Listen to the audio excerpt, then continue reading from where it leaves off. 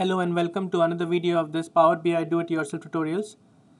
In this video, we're going to talk about interactive visualizations.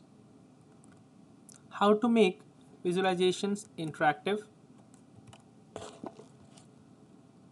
So use the same page which you have created in the previous video, which is DIY video number 4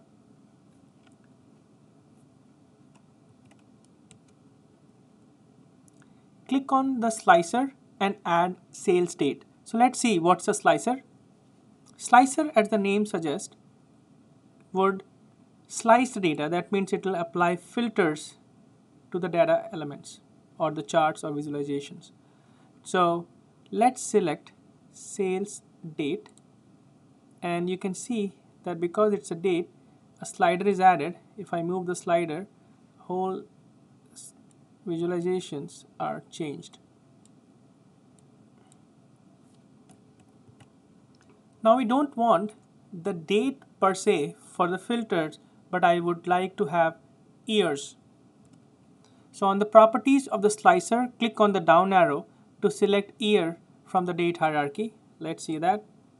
So here select I clicked on this arrow and clicked on the date hierarchy and you can see year is getting selected here. Now from the year on this piece I can click on list all drop down. By default it's drop down the values here but I'm going to click on here and change list. So it shows me all the years. Now you can select a particular year and the data in all of the visualizations will be filtered for that year. So click on 2012, 13, 14 or 15. You would see the entire data set is or the entire set of visualizations here. Every visualization is changing. Interestingly, it won't let me click on multiple years at once. So let's change that property.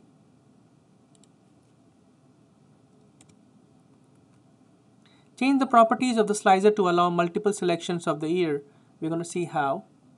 So click on this slicer, go to this format and go to selection controls and you can say single select off and now you can select multiple years.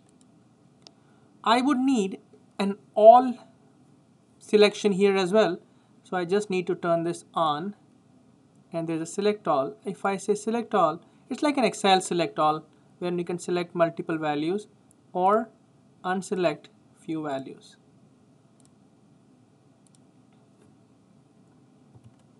Now what I want to do is I want to make the selections here but I do not want my this visualization to change at all. So it should always remain this value, no changes.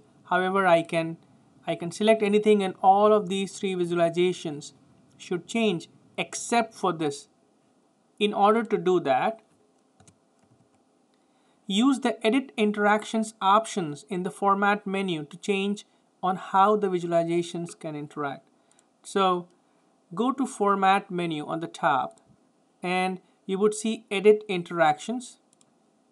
When you click on this and it's a toggle button, if you click on this, these are values or these are the icons appearing. If I unselect it, select it.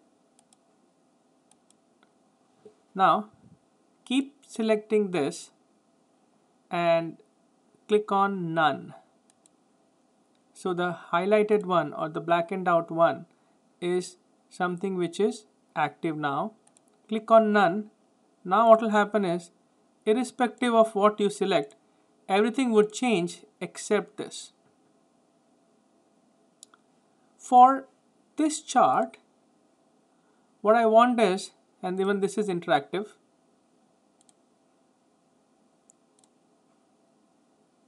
So for this chart, what I want is this should filter and not just select. So this is just the selection highlighting, but I want it to filter.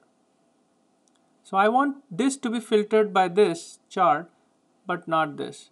So select, select here and say filter. So now you can see that it's not highlighted and it's selected. Let's show you again. This is highlighting. That means if I am selecting post, just the post component are highlighted. However, when I select filter, that means this is filtering. You can see how interesting and flexible those interactions can be. So change various visualizations property to highlight or filter elements. This is what we have done. So do the following hands-on exercises. So this is a good time for you to pause and think what we have discussed in these steps and get ready for hands-on exercises. Hands-on exercise number 8. Use the page created in DIY 5. Click on the slicer and add customer country. Now we are not adding year, we are going to add customer country. Then select a particular country and the data in all visualizations will be filtered. Change the properties of the slicer and use edit interactions to highlight or filter elements based on what you feel looks good. Exercise number 9, hands-on DIY exercise number 9. Use the page pages created in DIY 6 and 7. Click on the slicer to add channel type and then a new slicer to add department. So now instead of one slicer, you're going to add two of them. One is channel type, other is department. And then you would make the same changes to have multiple selection options and also change the interact visualizations. Thank you for watching.